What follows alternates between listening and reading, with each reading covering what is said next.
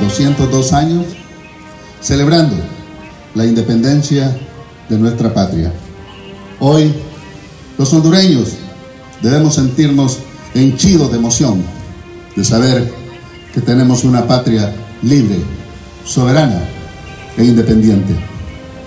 Que esta bandera azul, blanco azul, de cinco estrellas, flamee en lo alto de los cielos, no sola, sino con nuestros principios, con nuestros valores.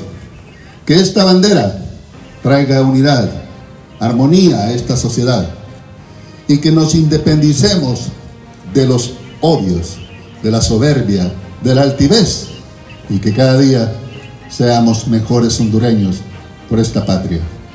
La independencia más grande que necesitamos los hondureños, ayer lo decía, es la independencia de la cárcel de la pobreza, una cárcel autoconstruida por nosotros los mismos hondureños. La independencia de la cárcel de las culpas, en la cual vivimos culpando a los demás de las desgracias que nos acontecen a nosotros, entendiendo que la independencia más grande de un ser humano es ser responsable consigo mismo y con la patria. Salud. Declaro inauguradas las fiestas patrias.